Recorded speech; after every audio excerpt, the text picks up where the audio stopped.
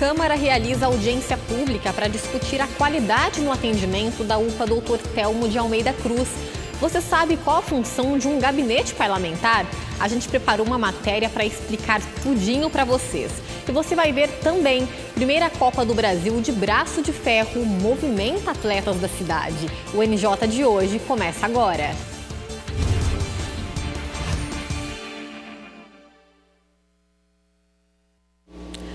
Olá!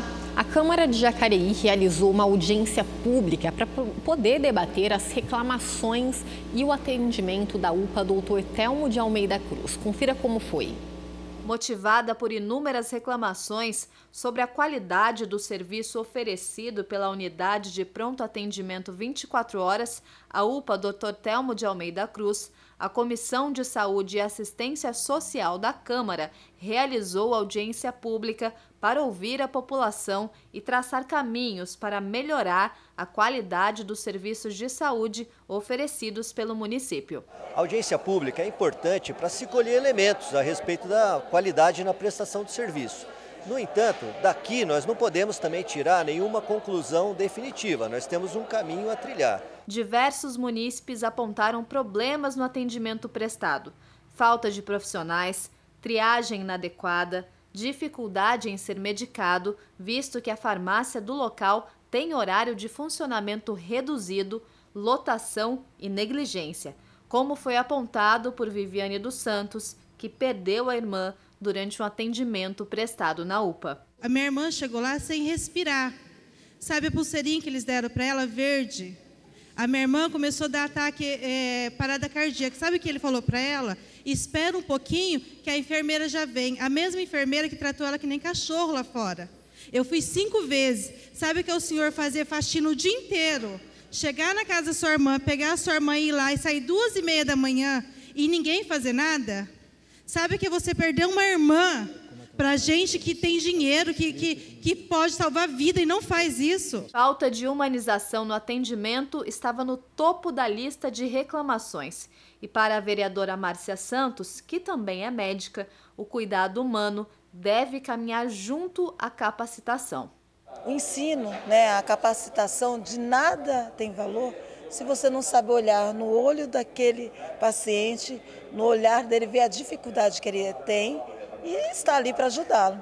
Os vereadores também criticaram a ausência dos responsáveis pela saúde pública de Jacareí e representantes da empresa prestadora de serviços. Então eu deixo aqui o meu voto de protesto, de não ter ninguém de representante do governo e não está hoje a secretária de saúde aqui e ninguém da empresa que hoje está administrando a saúde na nossa casa, na nossa cidade, que é Caminho Damasco e que porventura está fazendo um trabalho muito mal na nossa cidade. Vereador Rodrigo Salomão se comprometeu perante a população em buscar alternativas junto a outros membros do Legislativo e do Ministério Público para melhorar o atendimento na unidade de saúde. E fico muito feliz de estar saindo daqui uma parceria que a gente está é, firmando da Câmara Municipal, os 13 vereadores, junto com a população e agora com o Ministério Público, é, para que a gente possa elaborar um plano de metas a serem cumpridas é, baseado naquilo que está no contrato e a gente vai apontar, é, dar ideias para aquilo que a gente acha que o atendimento pode, possa ser melhorado. Tá, e é importante encontros como esse, e a população tem que ver mesmo participar para reivindicar seus direitos, né? Agora vamos mudar de assunto, porque no fim deste mês de agosto vai rolar a primeira Copa do Brasil de luta de braço.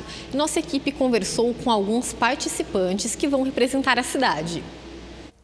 Todo mundo já deve ter brincado de queda de braço, mas aqui a brincadeira é séria. No dia 24 de agosto, a cidade vai receber a primeira Copa do Brasil na modalidade de luta de braço e toda a equipe já está nos preparativos finais para a disputa. É um evento da Copa do Brasil que está sendo presenteada para Jacareí, sendo coordenada pela Confederação Brasileira de Luta de Braço. O objetivo nosso é mostrar que a luta de braço é um evento já mundial, né? reconhecido no mundo inteiro. E hoje está tomando uma proporção e nós estamos trazendo um evento oficial para a nossa região, que é o Vale do Paraíba, e sendo presenteado Jacareí como polo de competição. A luta de braço, também conhecido como braço de ferro, tem vestígios de origens em civilizações bem antigas, como egípcia, grego e romana. No Brasil, essa prática tornou-se esporte na década de 50, e o que era considerado apenas uma diversão, como a queda de braço, ganhou regras e cuidados importantíssimos para a disputa. A competição tem regras, tem jurados, tem arbitragem e não pode ter fratura ou lesionar um atleta. Meu trabalho é orientá-los né, para que tenham uma preparação física adequada para que não sofra lesões também. Então, os treinamentos são baseados né, tanto em treinamentos de força, treinamentos de potência, treinamento de resistência e treinamentos para evitar lesões no braço de ferro. O esporte já vem ganhando espaço e reconhecimento por atletas, inclusive de Jacareí, que levam o nome da cidade a campeonatos estaduais. Minha trajetória eu venho desde os 15 anos treinando com, com o Alexandre e tive essa vitória aí nos juniores aí, Campeonato Paulista, fui campeão e venho treinando. Para mim é muito importante, é, é, um, é, uma adrenalina que a gente sente, né, na hora que a gente está disputando ali o campeonato ali, pela equipe, não só por mim, né. E para quem pensa que o esporte é só para homens, está muito enganado. Existe uma turma feminina ansiosa para a competição. Eu vou participar da modalidade júnior. Estou é, treinando já faz seis meses. Está é, tá sendo uma experiência incrível, porque vai ser a minha primeira vez que eu vou competir. E eu estou muito feliz porque cada vez mais as mulheres estão ganhando mais espaço nessa questão de esporte. Como que tem sido a sua trajetória nesse esporte de luta de braço? Nova, estou nervosa, muito, porque é a primeira vez. Eu amo competir, eu estou treinando muito, muito ansiosa, quero ganhar. A entrada é franca, é gratuita, tá? Taxa de inscrição para as cidades convidadas né? E o pessoal de Jacareí, inscrição gratuita, das 8 horas da manhã até as 19 horas da noite. Agora que o convite já está feito, resta aguardar e torcer para os atletas da cidade. Tá aí, vamos acompanhar como que vai ser essa competição. E você já parou para pensar qual a função de um gabinete parlamentar? Nossa equipe preparou uma reportagem, confira. A Câmara Municipal de Jacareí é composta hoje por 13 vereadores. Cada um deles tem direito a uma equipe de trabalho que é formada por assessores que trabalham nos gabinetes.